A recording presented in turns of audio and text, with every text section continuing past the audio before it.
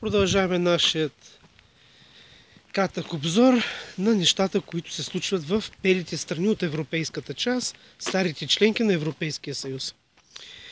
В кралство Нидерландия няма огради, няма метални заграждения, липсва бодлива тел, хората живеят спокойно, възпитано един с друг, помагат си.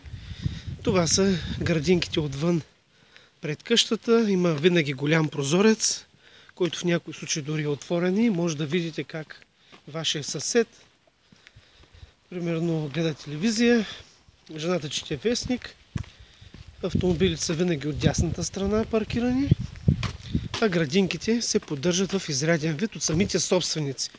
Тук собственици не се молят на кмета, на директора на дирекцията, на общинското предприятие. На някой власт имаш да му поддържа градинката. Всеки се грижи сам, в зависимост от своите възможности, но тук средната класа е около 72-73%. Това са нормални автомобили за дамата, за мъжа. Виждате, вечно зелени кипариси, храсти, зелени площи и раздвижни композиции в урбанистичната градска среда.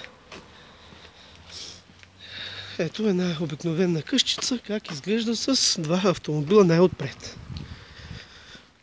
И в далечината дявойка, която усърдно чака автобуса от Бреда. Сега ще ви покажа как изглежда една обикновена дама.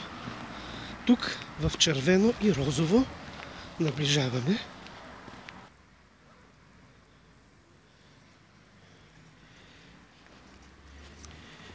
И това е градския стадион. Ето. Автобусите винаги идват на време. Не са изпотрошени спирките.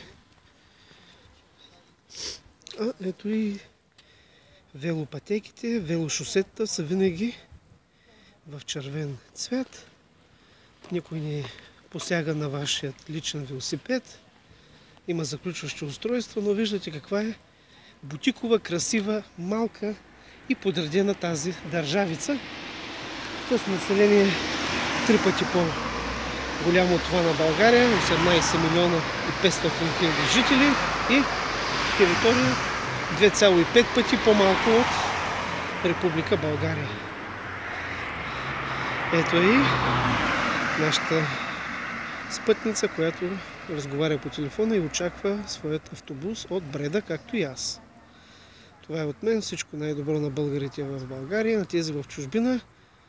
Нека сме заедно, нека се помагаме и позитивното да ни сплотява. Нека бъдем един мост между държавите и да рекламираме най-доброто от нашата страна.